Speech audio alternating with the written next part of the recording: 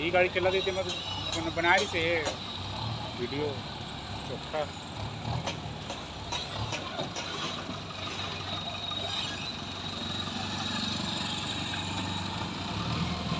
का चला दीजिए हम्म, चला